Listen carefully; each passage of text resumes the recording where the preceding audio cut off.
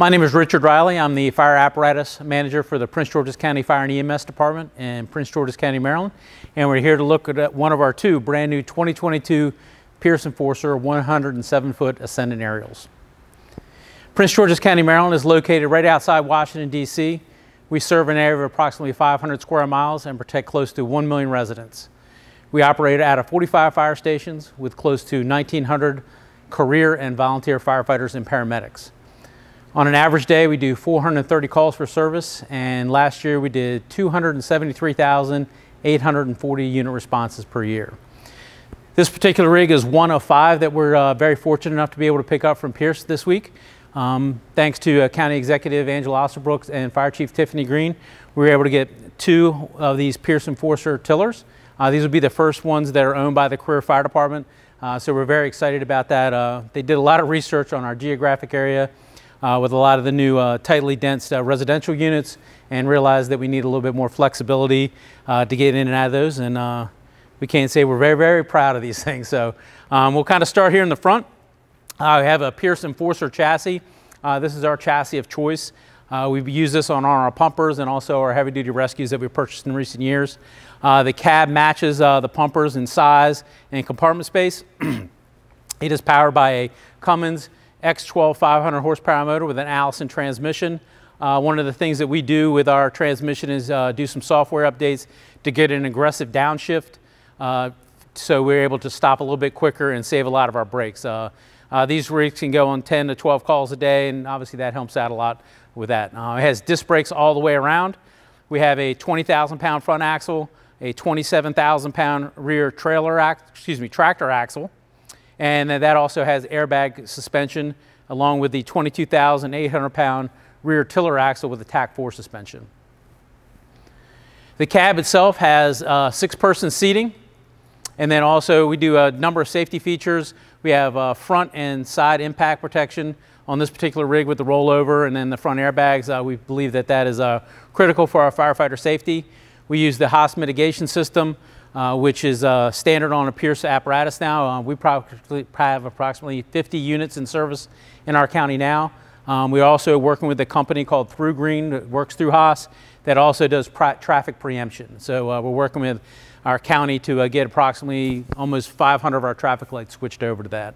We also have a Rosco Wi-Fi enabled event recorder in the windshield so we're able to record inside the cab and outside the cab in case there's any kind of hard braking or unfortunate accident. So as we take a look inside the cab, we did an all black interior. It's all wipeable. Uh, so obviously, as we went through the COVID experience, uh, we found that we needed seats that were easily wiped off. We have the new improved Enforcer dash. And then also we did the hardened material on the inside uh, around the dash cluster uh, to ensure that we're not having any plastic there. So it's all metal. As we go to the back, we have seating for four firefighters uh, in the back here with an EMS compartment. Once we get it back to the shop, uh, we'll be able to install all the tools that go on the inside, the SCBA, and all the hooks and things they need to uh, perform their duties each day.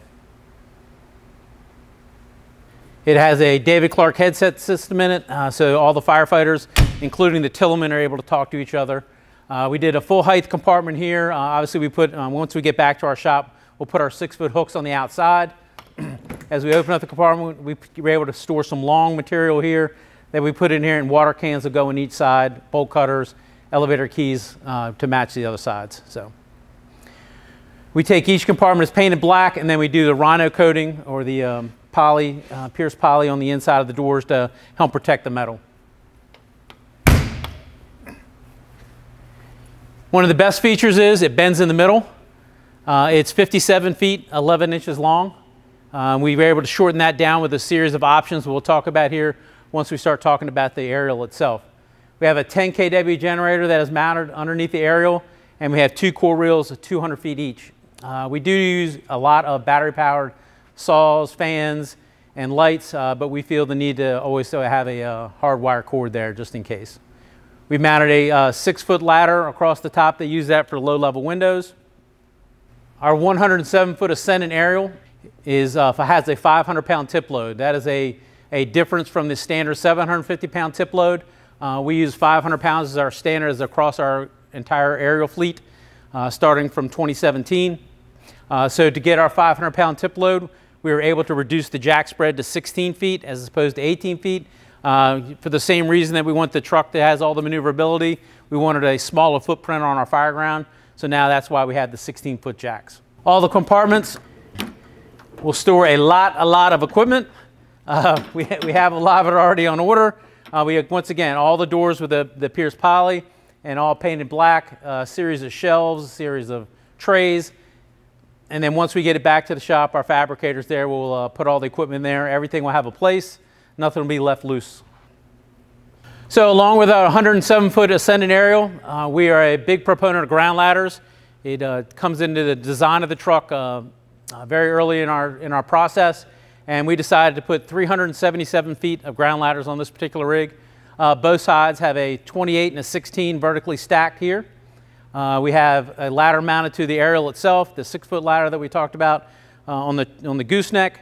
We have a little giant in one of the compartments, and then as we go around to the back of the rig, we'll look at the uh, ladder chute there.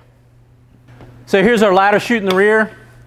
Uh, we, sp we spent a lot of hours putting this together. So here's the bulk of our 377 feet of ground ladders. We have a 45 foot ladder, three 35s, a 24, two 16s, a 14, and a 12 foot. So this helps make up our totality of our 377 feet of ground ladders. And these are all Duo-Safety ladders. So obviously uh, with a tiller truck, we have somebody that rides in the back. Uh, so the tiller person has air conditioning and heating. We put that on there uh, on this 107 foot ascendant to uh, make sure that they have good sight lines as they look out to the right and to the left and forward. Uh, we had Pierce do a 2% negative rake to the ladder to get that ladder out of the Tillerman's face. And so that was a, one of the options that they offered us. So one of the great things we do like about Pierce is their uh, ability to help us engineer specific compartments that are for our organization. Uh, we wanted to have a compartment uh, that the tiller, per tiller person could come to. And this is that compartment here. This is where all their gear will be stored. So we have a through compartment here. Uh, they'll be able to put their PPE, hang their SCBA, their lights, their helmets, everything. We have a duplicate compartment of this on the other side also, uh, depending on which station it goes to. So uh, they're able to use either or uh, for these compartments. So once again, that was just an engineering uh, working with engineering to get that compartment for our department and how they, we want to operate. So inside the cab, in our command zone screen, uh, we have, you're able to see where the jacks are going to go. Um, but as we drive into our parking lots or drive into our residential streets, we added some high-vis light cannons. Uh, these are easily visible during the day. You'll see that light, particular light down on the ground, and that way you'll know where the jack is going to go. So then when the jack comes out, where that jack sits down is exactly where that light was shining. So uh, once again, just added features to the rig to help the driver operators be able to spot the jacks uh, correctly on our fireground. So as we get around to the front of the rig, we have a, a 13 inch extended front bumper. It is a steel bumper with reinforcements in the corners. We have a Federal Q notched into that particular bumper. Once we get back to our shop, uh, there'll be a series of uh, tools and equipment that'll be mounted here that match our other Ascendant aerials. On our rig, we use uh, exclusively use Whelen emergency lighting uh, with the exception of our RotorRay that is uh, manufactured in Virginia.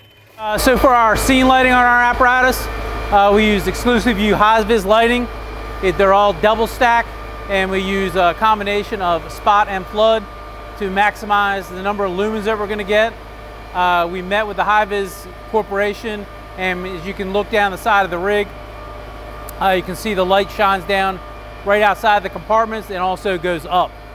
so just due to the number that we have, uh, the tractor and just a one or two on the trailer are with 12 volt and the three double stacks on each side are also run by the generator. So um, as we come down the street, we're illuminating the street and then once we get there, we turn nighttime into daylight with all, all the uh, high-vis lights that we have on here. So uh, very happy customer um, for our particular unit. Okay, so that's, uh, that's our 57 foot, 11 inch uh, 2022 Pierce Enforcer tiller truck. Uh, we're very excited to get them back to our county and put them in service and have them running calls. We'd like to thank all the people at Pierce for all they do for us constructing these particular rigs. We're very invested into the people at Pierce. We think that is our biggest attribute is the people that work here, and we appreciate all the work that went into our rig.